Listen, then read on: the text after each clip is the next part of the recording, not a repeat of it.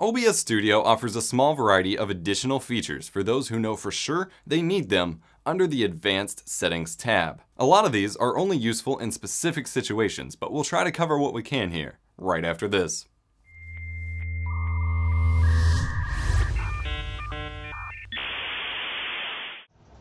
Are you tired of your streams or voice chats sounding like this? Do you want the comfort and quality of high-end headphones without sacrificing microphone quality? AntLion's ModMic 5 is the perfect solution. Their dual capsule microphone attaches easily and securely to your existing headphones and fits within any setup thanks to the modular cable system. It comes with a cable wrap to protect your wires, an optional inline mute switch, and sounds a little something like this. Check the link in the video description to learn more. I'm EposVox here to make tech easier and more fun. Welcome back to my OBS Studio tutorial course for 2017. And it'll be useful for a long time because OBS doesn't update that drastically. I've got plenty of videos about the software linked in the playlists in the video description. Check those out if you have any questions. I've probably answered them. And check the introduction video if you want to know how this course works. It's worth noting that these settings are updated all the time, so yours might look a little different or might have new ones too, but the general principles still apply. Let's just start at the top, shall we? Process priority refers to, well, the priority to which your computer allocates resources. At normal, it's possible on slower computers that OBS could freeze or have issues due to another program, such as a game, taking up more power. I believe it stays at above normal by default to help prevent this. If you're using a slower computer and running into issues with OBS freezing or being unresponsive, you can try setting this to high. But be prepared for that to potentially harm performance in game or your other programs, because then OBS is taking priority over those. The video settings section is typically left alone. Direct3D 11 or 10 should almost universally be used, on Windows at least, and even on my rig, that is the only option. You might have OpenGL available as well, which is worth trying if you really need to troubleshoot some performance issues.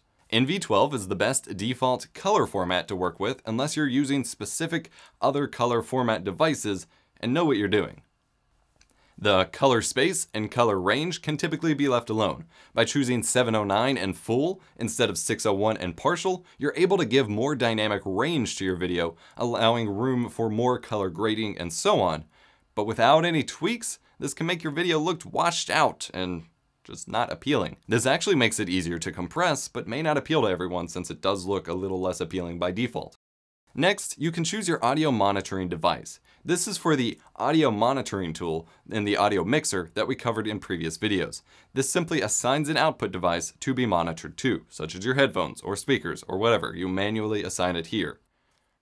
Following that, you can change the file name formatting for your recordings and replay buffers. You can also add a stream delay. This is important for major events or during competitive matches to prevent stream sniping. But the buffer for the delay can consume a lot of RAM. You'll have to keep your system resources in mind with that feature. Next, you can set up retries for automatically reconnecting to streaming services if your connection is lost. You can disable this if needed. I guess the only reason I'd think you might want to do this, especially since you can just hit stop streaming, is if your streaming service requires new stream keys or stream IDs for every new connection. Then reconnecting will just confuse everything. Lastly, for the current version, you have some network controls. The OBS team have implemented better network code, which is vague, I know, but supposedly improves stream performance, which you can disable. You can also enable a low latency mode, which improves latency to your stream, but can use more system resources. You can also bind OBS to a specific network device if you have more than one different internet accessible network adapters in your system. For example, you could stream through one internet connection and game through another, or use a VPN on one and not the other. I hope this episode of my OBS tutorial course has been helpful for you. If it was, hit the like button, subscribe for more awesome tech videos. If you like game streaming, come follow me on Twitch, shoot me a message in chat. Until next time, I'm EposVox. Happy streaming. Thanks for watching this episode of my OBS Studio tutorial course. More videos like this and a full master class are linked in the playlist in the video description. Click to learn more. Also, consider joining us on Patreon to help keep tech education free. Go to patreon.com slash to sign up.